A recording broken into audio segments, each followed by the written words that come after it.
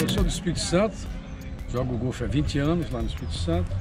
E como eu gosto de aventura e, e com essa pandemia não pude mais viajar, e resolvi fazer, descobrir que tem 117 campos de golfe no Brasil, pedi o apoio da Confederação Brasileira de Golfe, me apoiou Osmar, agradeço aqui, o About Golf, né, na pessoa do Padua e do Gildo e do Rogério também estão me apoiando. E aí comecei a jogar golfe, saí de, saí de Vitória no dia 2 de janeiro, estamos aqui agora no Pará, né, no Amazon Country Golf. Esse é o 11 campo de golfe que a gente joga. Nós vamos fazer primeiro a região do Norte, Nordeste, Nordeste Norte. Depois a gente desce de Manaus para a região Sudeste, é, Centro-Oeste.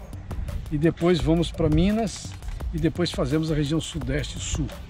O projeto está previsto fazer tudo em um ano. A gente está achando que dá para fazer em um ano. E a gente gosta de jogar golfe, nós estamos difundindo o golfe, ajudando a, a difundir esse esporte maravilhoso que é o golfe. Hoje estamos aqui sendo muito bem recebidos pela turma do golfe de, do Amazon é, Country Golf, um campo muito bom, um campo desafiador, um traçado muito bom. E o bom do golfe é que você é recebido sempre dessa maneira muito bem. E agradeço aqui a todo o golfista aqui do, do Pará.